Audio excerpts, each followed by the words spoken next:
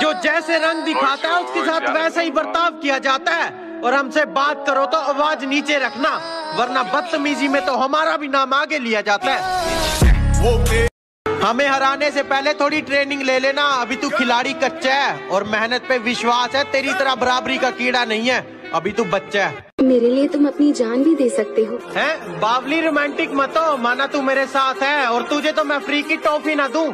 जान तो दूर की बात है